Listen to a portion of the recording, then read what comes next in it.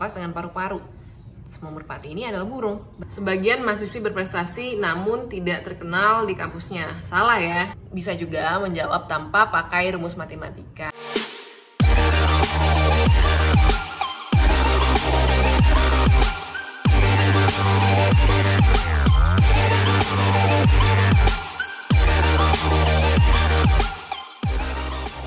Hai guys, welcome back to Miracles Channel.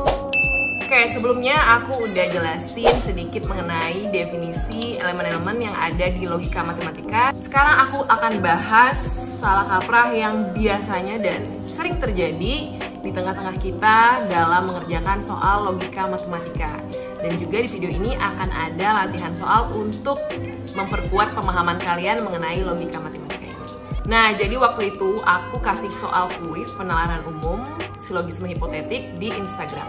Nah, kemudian ada yang balas seperti ini. Menurutku ya kak, dolar tidak naik atau nilai rupiah turun itu sama aja. Ini mah jebakan doang. Nggak bakal berpengaruh juga ke harga komputer lebih murah kalau dolar naik. Logika itu bukan ranah empiris, beda ranah guys. Logika itu bebas dan abstrak. Ya pada soal ini terserah si pembuat soalnya mau nulis premis apa pun bahkan yang bertentangan dengan fakta empiris yang ada di realita. Misalnya ada premis semua ikan bernafas melalui paru-paru. Ya terserah kita nggak usah ngelihat realitanya karena yang kita lakukan hanya mengambil kesimpulan berdasarkan premis yang udah tersedia dengan logika. Nih aku kasih contoh. Premis satu, semua kucing bernafas melalui paru-paru. Premis kedua, semua yang bernafas melalui paru-paru adalah manusia. Jadi kesimpulannya apa? Kucing adalah manusia. Loh, kok kucing adalah manusia? Ya kan? Secara realita atau secara empiris, ya kucing beda sama manusia. Tapi ini adalah ranah logika, bukan ranah empiris secara logika penarikan kesimpulan kita benar karena ya premis tersedia memang seperti itu. Jadi tugas kita cuma menarik kesimpulan dari premis yang tersedia. Menarik kesimpulan dengan benar tanpa ada campur aduk dari dunia realita gitu. Oke okay guys, sekarang waktunya kita bahas soal silogisme. By the way, sebelum kalian melanjutkan nonton pembahasan ini, pastikan kalian sudah nonton dulu videoku yang episode pertama, apa itu logika matematika. Kalau udah, ya udah langsung kita masuk ke soal pertama. Oh ya kalian jangan terpengaruh sama nomor yang ada di soalnya ini karena ini random aja. Oke kita baca. Semua burung bernafas dengan paru-paru. Semua merpati adalah burung jadi kesimpulannya apa baca lagi ya semua burung bernafas dengan paru-paru semua merpati ini adalah burung berarti merpati bernafas dengan paru-paru, ya kan? Tuh yang B jawabannya. Jadi sebenarnya udah langsung bisa ditarik kesimpulannya gitu. Tapi coba deh kita lihat uh, optionnya satu persatu. Yang A, semua merpati tidak bernafas dengan paru-paru. Jelas salah karena semua merpati bernafas dengan paru-paru. Oke yang C, tidak semua merpati bernafas dengan paru-paru. Jelas salah karena semua yang bernafas dengan paru-paru. Yang D, sebagian merpati adalah burung. Loh, premis kedua dia bilang kan semua merpati adalah burung. Salah ya, udah pasti. Terus yang E, sebagian merpati bernafas dengan paru-paru. Salah juga, karena harusnya semua. Oke, ini gampang ya. Kita lanjut ke soal berikutnya. Barang pecah belah adalah barang yang mudah pecah bila jatuh. Barang-barang yang tidak mudah pecah bila jatuh tidak lagi digolongkan dalam kategori pecah belah gelas buatan PT Mirror tidak dapat pecah kalau jatuh. Ya berarti gelas produksi PT Mirror tidak termasuk barang pecah belah, ya kan? Kan tadi dia bilang barang pecah belah adalah barang yang mudah pecah bila jatuh. Barang-barang yang tidak mudah pecah bila jatuh tidak lagi digolongkan dalam kategori pecah belah. Gelas buatan si PT Mirror tidak dapat pecah kalau jatuh, berarti bukan merupakan barang pecah belah gitu. Ya, simple aja guys ya option yang A salah dong karena lihat premis pertama barang pecah belah ini adalah barang yang mudah pecah ya jadi kalau tidak termasuk barang pecah belah yang tidak mudah pecah bukan yang tidak mungkin pecah jadi yang A itu salah oke yang C gelas produksi PT Mirror mudah pecah ya udah jelas salah lah Kemudian yang D tidak dapat pecah, sama juga salah ya. Belum tentu dia tidak dapat pecah, tapi dia tidak termasuk barang pecah belah, oke? Kemudian yang E gelas produksi PT Mirror termasuk barang pecah belah. Ya udah jelas bertentangan sama kesimpulan tadi. Oke? Bisa. Yuk lanjut ke soal berikutnya.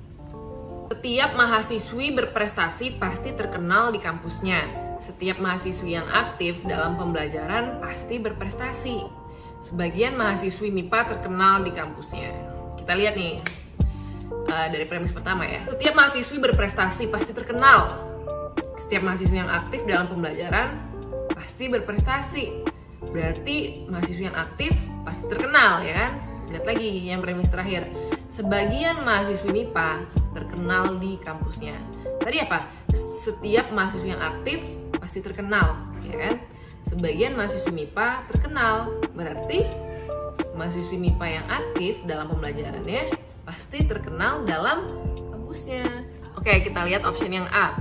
Sebagian mahasiswi berprestasi namun tidak terkenal di kampusnya. Salah ya, karena kan setiap mahasiswi berprestasi terkenal, pasti. Oke, yang A ada jelas salah. Yang B, ada mahasiswi aktif dalam pembelajaran tapi tidak terkenal. Udah pasti salah ya.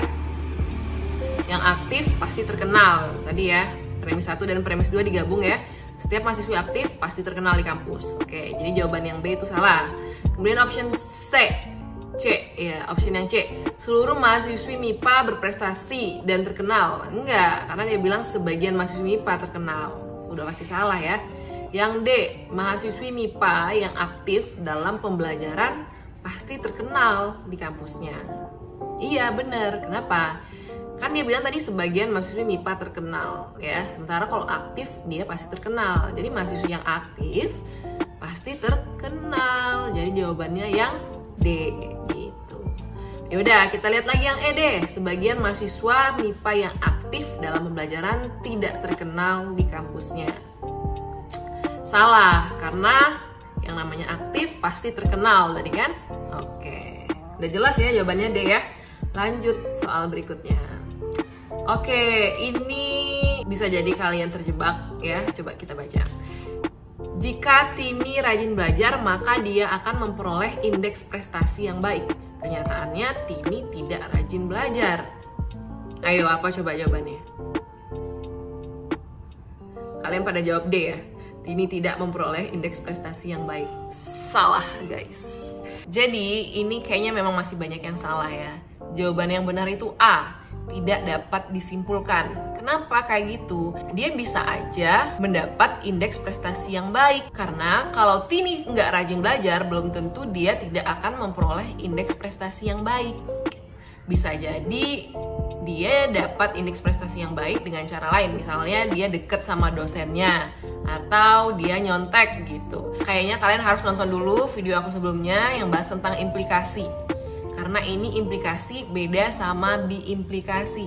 Kalau implikasi itu jika P tidak terpenuhi maka belum tentu Q tidak terpenuhi gitu. Jadi jika uh, rajin belajarnya nggak terpenuhi, belum tentu dia tidak akan memperoleh indeks prestasi yang baik. Ya ini kan kalau ditulis secara matematis uh, P Z Q gitu kan. Ini rajin belajar itu P, maka tanda panah dia akan memperoleh indeks prestasi yang baik itu Q.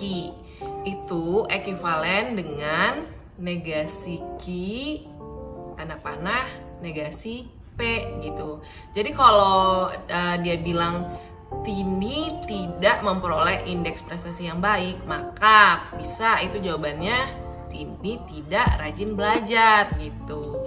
Tapi kalau dibilang Tini tidak rajin belajar, belum tentu dia tidak akan memperoleh indeks prestasi yang baik. Kecuali biimplikasi, ya. Kecuali kata-katanya kayak gini, biimplikasi. Jika dan hanya jika Tini rajin belajar, maka dia akan memperoleh indeks prestasi yang baik. Nah, kenyataannya Tini tidak rajin belajar, maka Tini tidak memperoleh indeks prestasi yang baik. Nah, itu baru benar. Kalau biimplikasi, ini implikasi, maka jawabannya tidak dapat disimpulkan. Yang A ya. Oke. Lanjut. Jika Tumingsi memakai baju hitam, maka ia memakai celana coklat. Jika Tumingsi memakai celana coklat, maka Indah memakai celana hitam. Ya, berarti kalau si Tumingsi pakai baju hitam, Indah pakai celana hitam ya kan? Kenyataannya Indah memakai celana pink. Berarti Tumingsi nggak pakai baju hitam. Iya kan? Gampang aja. mana nih Tumingsi tidak memakai baju hitam jawabannya yang E gitu tanpa lihat option yang lain juga udah pasti tuh jawabannya E atau kalau kalian mau lihat option lain boleh A Indah tidak memakai baju coklat Leh. Kenapa jadi baju ya kan? Indah aja di sini cuma disebutin celana-celana. So, nggak bisa. Salah. Tumingsi memakai celana hitam. Salah juga. Mana kita tahu dia pakai celana apa kalau dia nggak pakai baju hitam, ya nggak? Oke, yang C, Indah tidak mempunyai celana coklat. Dah, nggak nyambung. Kenapa jadi nggak punya? Ada kata baru gitu ya? Udah pasti menyalahi aturan, salah gitu ya. Jangan menambahkan kata-kata baru gitu ya. Yang D, Indah memakai baju coklat. Salah.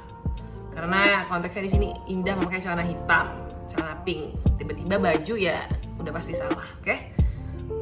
Jadi untuk mempersingkat waktu ketika kalian udah bisa langsung menarik kesimpulan dari uh, dua atau tiga kalimat ya yang ada, ya udah langsung aja jawab ketemu jawabannya udah langsung jawab aja E gitu. Nggak usah perlu lihat satu persatu option juga gitu ya. Oke lanjut. Tanaman yang bijinya berkeping dua memiliki akar tunggang. Semua tumbuhan palem memiliki akar serabut. Berarti si palem ini bukan tanaman berkeping dua ya. Oke, tanaman Z adalah tanaman yang bijinya berkeping dua. Berarti tanaman Z bukan tumbuhan palem. Ada nggak? Tanaman Z bukan tumbuhan palem yang A. Udah, bisa langsung coret jawabannya yang A gitu. Kalian lihat deh pilihan yang lain, yang E deh. Tanaman Z adalah jenis tumbuhan palem, udah pasti salah. D, tanaman Z adalah tumbuhan palem. Ya, dari tumbuhan palem itu aja udah salah ya, udah pasti salah. Tanaman Z memiliki akar serabut. Loh, dia aja bilang bijinya berkeping dua. Keping dua, akar tunggang. Salah ya. Yang B, tumbuhan palem yang memiliki akar tunggang hanyalah tanaman Z. Wah, makin ngawur. Oke, soal terakhir, cepat aja ya guys ya. Semua bunga di taman keputren berwarna putih. Semua putri suka bunga. Vini Dewi membawa bunga biru. Berarti bunga biru ini bukan dari keputren, ya. Jawabannya yang E gitu. Vini Dewi, Vini Dwi membawa bunga biru. Semua bunga di Taman Keputren berwarna putih. Udah jelas bunga yang dibawanya bukan dari keputren gitu ya. Ini premisi yang keduanya nggak terlalu ngaruh ya. Yang lainnya cuma ngecoh aja nih. Putri suka bunga biru. Nggak ada hubungannya sama premis. Kita nggak bisa bikin kesimpulan itu dong ya kan? Yang B taman keputren ada bunga birunya. Salah. Udah pasti ya salah. Karena dia bilang semua bunga di keputren putih gitu ya. Yang C putri tidak suka bunga putih. Dia cuman bilang di sini semua putri suka bunga bunga warna apa kita tidak tahu. Udah pasti. Salah yang C. Yang D. Vini Dwi tidak suka bunga. Nggak bisa nggak tahu. Vini Dwi membawa bunga biru. Belum tentu dia suka belum tentu juga dia tidak suka ya. Udah jelas nih jawabannya yang E gitu. Gampang ya? Udah deh selesai. Gimana guys? Dari berapa soal nih? Kalian bener berapa? Coba komen di bawah. Atau jangan-jangan kalian dari tadi nggak ngerjain coba deh komen kalau kalian uh, sambil ngerjain komen benernya berapa ini ada satu contoh coba kalian pikirkan jawabannya ya di dinding sebuah bioskop terdapat tulisan tidak boleh membawa kamera dan anjing. Joni yang melihat tulisan tersebut berkata, Wah berarti kalau bawa kamera doang boleh dong. Kan itu tulisannya nggak boleh bawa kamera dan anjing. Menurut kalian pernyataan si Joni ini valid atau invalid? Pause dulu deh, mikir dulu kira-kira valid atau enggak ya. Nanti kalau udah kepikiran jawabannya baru di play lagi. Nah ingat yang tadi konsep konjungsi apa guys? konjungsi akan bernilai benar jika dan hanya jika pernyataan pertama dan pernyataan kedua benar gitu. Jadi pada kasus ini kan dia dilarang untuk membawa kamera dan anjing. Nah kalau salah satu aja yang dibawa berarti boleh dong gitu. Ya nggak? Kata hubungnya itu dan. Karena ini kata hubungnya dan maka keduanya ini harus dipenuhi. Kamera dan anjing. Dua-duanya berbarengan gitu. Jadi kalau satu saja tidak terpenuhi ya berarti boleh. Either kalian mau bawa kamera aja atau bawa anjing aja ya sah-sah saja gitu kecuali kata-katanya tidak boleh membawa kamera atau anjing nah Jadi kalau kalian bawa kamera saja ya nggak boleh, kalau kalian bawa anjing saja ya nggak boleh gitu ya. Jadi kalian harus membedakan pemakaian kata dan atau pemakaian kata atau. Oke. Okay. Oke okay guys, sekian pembahasan soal silogisme pada video kali ini. Sebenarnya kalau kalian mau tulis pakai rumus matematika juga boleh, tapi yang aku eh, terapkan di sini adalah kalian bisa juga menjawab tanpa pakai rumus matematika gitu.